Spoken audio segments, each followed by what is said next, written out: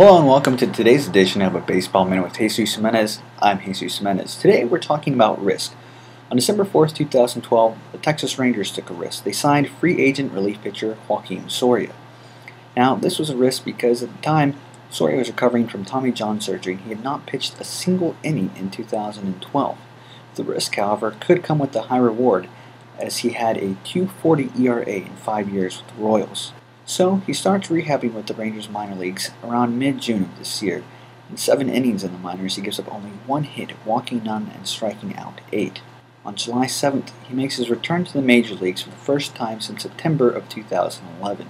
Since then, he's pitched 17 and one-third innings, given up 12 hits, 5 earned runs, walked 10, struck out 18, and he has an ERA of 260. He's been very effective and efficient. He's averaging 16.6 pitches per outing over 19 games. He also has a RA9, that's runs allowed per 9 innings, of 174. I love his curveball, but the thing is he doesn't use it enough. He's used it 30 times this season and 315 pitches thrown. When he does use it, though, he has a 43% strikeout percentage, which isn't very high. It used to be higher. It used to be 69% when he was with Kansas City Royals. However, I think this number will rise. He relies mainly on fastballs and sliders to set up a batter, and will occasionally like to strike him out with his curveball.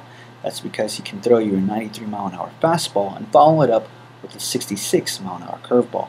The other night, Tom Grieve described it as a you Darvish-like curveball. Now, in terms of WAR, Soria is only worth 0.4 right now, but I think he will prove to be an important part and an underestimated part of the Rangers bullpen in the playoffs and in 2014. I'm Jesus Jimenez. Follow me on Twitter. I'll videos like this weekly.